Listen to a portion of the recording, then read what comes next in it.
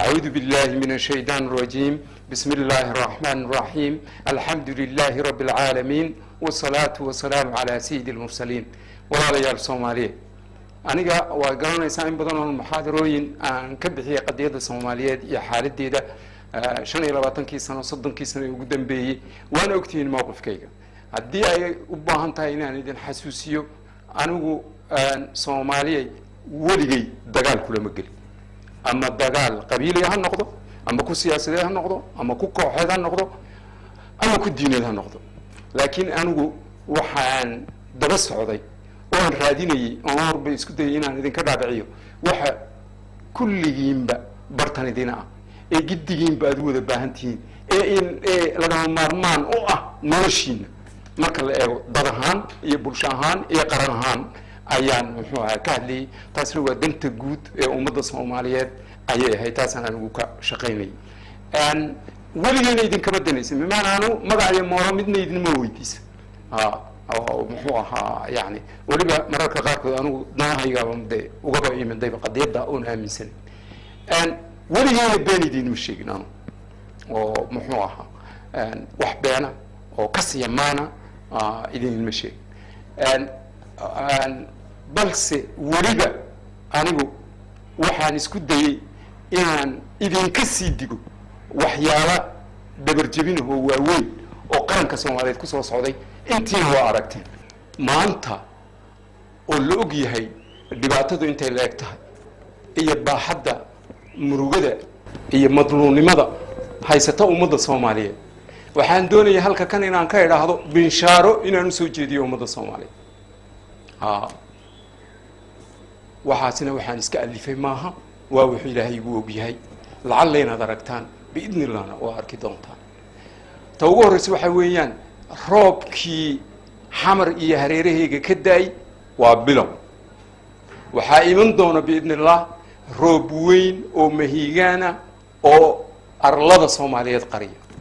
Roobkaasina wuxuu inaga meydhi doonaa xumaanta iyo dhiigga cudurrada iyo sunka ayuu ka meydhi doonaa dadka iyo dalka soomaaliyeed qalbiga iyo nafta waa raxmad waa roob raxmada ayaa ku bogsan doonaa qalbigaa ku caafimaadi doonaa caqligaa mugdigu uu ka bixi doonaa oo nuur heli doona biidni illah intaa ka gadaal ilaahay fadligiisa dad iyo duunyo waa la doogsan doonaa waxaa la arki soomaali dib u magoosha waxaa la arki soomaali intii la isnacsiiyey boqolkeeda isjeclaata oo bogga isgelisa oo xabadda laxooda kala goosata ayaa la arki doonaa biidni illah waxaan ugu binshaaraynayaa oo labaad ummadda soomaaliyeed. Labada kun iyo afar iyo tobanka bisha juulaay baa ugu dambaysa dhibaato. Hadday qaar rabaan inay ilaahay iskaga keen dhigaan oo ay qoondeeyeen dadka soomaaliya inuu duugmo ilaahay baa talada isaa isagaa amarkana leh. Labada kun iyo afar iyo tobanka bisha juulaay baa dhibaatadu soomaali ugu dambayn doontaa. Ha gebi ahaanteeda ilaahay fadligiisa ta saddexaad waxa weeyaan saddex sano dabadeed laba kun iyo toddobiyo tobanka wixii aad soo martay soomaaliya hawaawi xun oo aad ka toostood ilowday buu noqon doonaa. Dalkuna waa dhismi doonaa dowlad weyn oo soomaaliyeed oo aan dib dambe u duminna way dhalan doontaa biidni intaasi waa bishaaro. Waxaan doonayaa soomaaliya inaan idiin sheegoon idin xasuusiyo shuruudaha jiritaanka ummadda soomaaliyeed. Kuwaasana anu had iyo jeer daafacayay kuwaasaana ummadaha jiraaya ay daafacaan. Kuwo kale ma daafacaan. Maxay tahay? Waa midnimada ummadda. Midnimada ummadda waa maxay? Waa midnimada dalka. Waa midnimada dadka. Waa midnimada dowladnimada. Waa midnimada qarannimada. Taasaa ummaddu guud ahaanteeda ay ku noolaan kartaa. Gaar ahaanteedna ay ku noolaan kartaa. Saddexdaa midnimo oo ay maamusho dowladda dhexe weeye. Dowladda dhexe. Soomaalidu waxay tidhaahdaa.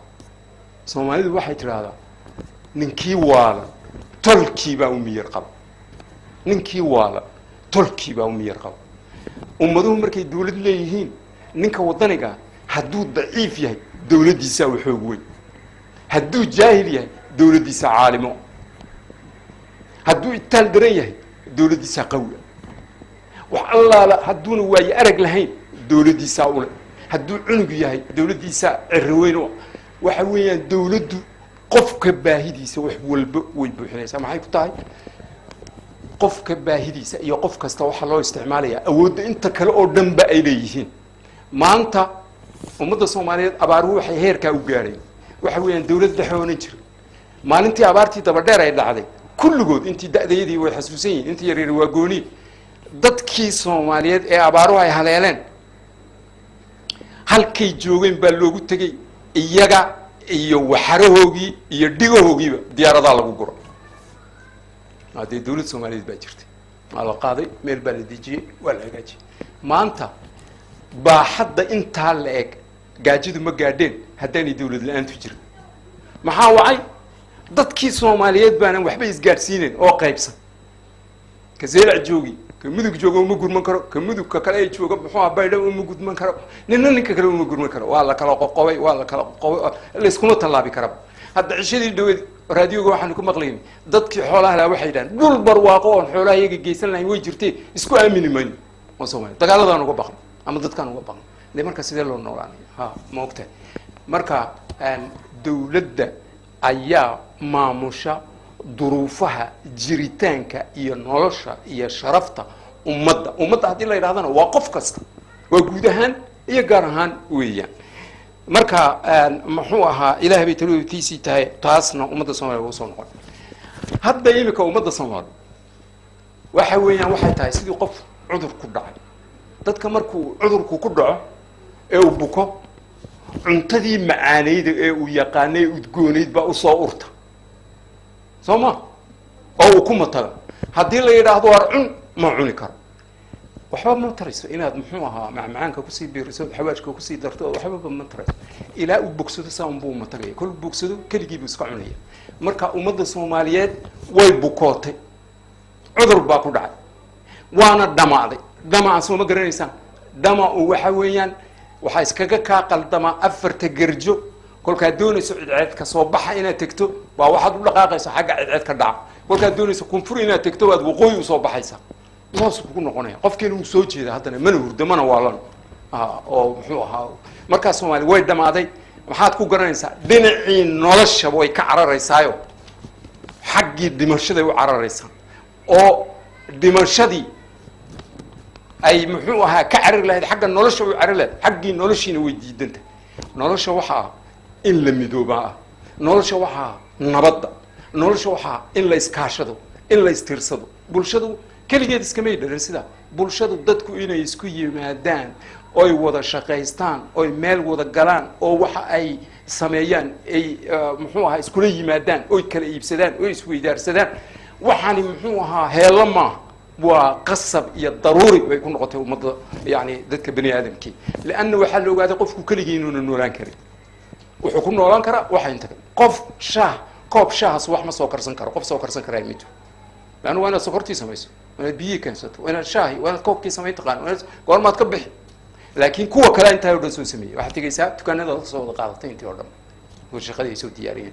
De haddii qofkii taa loo diido marka soomaaliya markii aan dawladda iska bururinay maynaan moodeyn inaan bururinay shuruudihii jiritaanka dadka soomaaliyeed oo kan duminaya uu ku jiro waddooyinkii iyo muxuu ah baanankii iyo dhakhtaradii iyo wixii o dhan baa la dumiyay hadhowna waa lasoo fadhiistay dadkii sameynayay waxaa kan sameeyey baa la laayay oo dagaal sokeeya lagu jiro wax allaala wixii dhintay abaartaa maanta waxaa ka dhex muuqda wax allaala wixii dad la laayey iyo wixii la eryaday wixii ay qaban lahaayeen kusoo biirin lahaayeen inta ay muutan yihiin wixii baa ka maqan meesha oo ka maqan ninkii aad dishayba wuxuu la tegey maaha oo kula tafir dheer oo kumayaal qof. Laakiin wuxuu la tegey wuxuu abuuri lahaa iyo wuxuu fikir keeni lahaa iyo wuxuu karti keeni lahaa wixii o dhan buu la tegey. Marka had marka nin soomaaliya disho waxay u muuqataan si waxaad gacan isgoonayso ama lugaad isgoonayso ayay ayay u muuqataa. Waxaan doonayaa inaan soomaalida u sheego. Dad qadiimiya weeyaan. Waxaan soo jirnay ilaa sideed kun oo sano ayaa soo jirnay inta aynu soo jirnay waxaa ina helay. Toddoba jeer baa sidaa maanta aan u leeanay aan u leeano toddobadaa jeerna waxaynu kaga soo baxaynay oon kaga soo gudbaynay. Laa ilaaha ila allah laa ilaaha ila allah ayaan kaga gudbay tanna waa tii sideedaad waana tii ugu dambaysa weeyaan. Oo dib dambe hadda kadib waxaankaasi kuma iman doono soomaaliya abshir. Waa tii ugu dambaysay biidn illah waana arki doontaa inay tahay tii ugu dambaysay iyadana waxaan kaga baxaynaa laa ilaha illa allah ilaahaanu soo noqon annaga oo ummadda soomaaliyeed ahayn alla caabud dad ilaaha uga yaqaana war yaa allihiisa yaqaanaa la odhan jira annagoo allaha yaa caabudna baa waxaan ku noqonay oday caabud odaygu oday caabud waxay ka dhigan tahay owthaan dee sanabyadii baan caabudayna waa sanabaan meel oolin laakiin maskaxda ku jira waa sanab aanan muuqaal lahayn laakiin magac leh. Waa oday. Waxaana caabudna odaygii reeba odaygii reeba odaygii reeba oday waa waxaan waxaan leeyahay tawxiidku wax iska baxay maaha. Laa ilaha illada wax iska baxay maaha. Haddii shanta arrimood aan soo sheego nin waan awoodi karaa yidhaahda ama waan samayn karaa u yidhahda wuxuu istaahilaa in la caabudo sidii ilaahay oo kale. Haddaad soo heshaan nin yidhaahda anaa dhalashadaada sii ogaa anigaa habeeyey. Hadduu odhan lahaa nin sidaa yidhaahda haddii la heli lahaa in la caabuday ahaan lahay. Laakiin ma jiro. Nin odhanaya anaa awoodi kara oo habayn oo xilligaad dhimanaysa anaa qariraya halkaad ku dhimanaysa anigaa garanaya. Waxaad u dhimanaysa anigaa garanaya. Goortaad dhimanaysa anigaa garanaya. Anaa sii wada habaynaya nin le hadduu jirana hadda dee kaasna in la caabudo buu noqon laha ha laakin de xaguu miyuu jiraa kaas ama ma jiro. Ta saddexaad risiqa nin had haddii la hayo ninka odhan kara anaa risqaaga hayo? Sanadka saddexaad bisha labaad matalan maalinta tobnaad maalintaa gawskaaga waxba saari maysa anaa haya waan kaa gooyey maalintaa. Hadii la meel hayaa ka? Nin ku odhanaya cudurrada anaa kugu keenaya intaasoo cudur baa kugu dhici doonto. Maalinta caynkaas saasaad u bukon miyuu jira waayahaaga waxaad noqonaysaa nolol rafaadaad galaysaa ama turaaxaad galaysaa ama taajir baad noqonaysaa ama caynkanaad noqonaysaa. Nin odhan kara anaa taa awood ula oo qariri kara oo goyn kara miyuu jira in la caabudo weya in la caabudo noqon lahaydeen ma jiro marka shantaa iyo wixii lamida wixii ka wax ka gedisanba ma jiro oo nolosha lagama maarmaan intaasna inaad dhalato waad dhiman doontaa risiq baad u baahan tahay waad bukoon doontaa caynkan sida tan intaas oo kullu ilaahay baa waxisa qof shaqo kuley ma jiro. Marka ka biqitaanka aan ka baqayna ka kale idan ka kale waxa loo weeraro waad ka baqaysa waxbuu kaa qaadan waxbuu kugu samayn baad waaris. Waxba kuma hayo ka waxbuu ku hayo ilahay war ma jirto. Kullu ba ilahay waa wuxuu kitaabku leeyahay laa laa laa yamlikuuna lianfusihim daran walaa nafcan. Wax awood ay leeyihiin qofku ma jirto. Ilaa maa sha allah ilahay de inuu kugu soo sababo mooyaane marka soomaalida intaasaan anigu waktigaa joogo ugu bishaaraynaya waxaan leeyahay qaar baa ilaahay say keen dhigay oo dhibaatada maanta beri hore aan ka baxnay soomaaliyeed markaan madaxa la soo kacanaba dad baa inagu muquura dhibaatada iyo dhooqada. Inagu muqura oo diyaara. Oo doonaya inaan dhimano laakiin ma dhimanayno nolosheenna alla weyne waaxid baa haya. Sideed kun oo sano kaan fadligiisa ku soo jirnay baan maantana ku baxaynaa. Haddii ilaahay ka dhigo. Marka intaasaan waktiga maanta la mara idinku bishaarayn. Marka waxaan leeyahay murti waxaan leeyahay soomaaliya waktigaa cusub ee yimid ee isu diyaariya wakti cusub baa yimid oo soo dhow isku diyaariya cafiya naftiin iyo soomaali inteeda kale iska cafiya.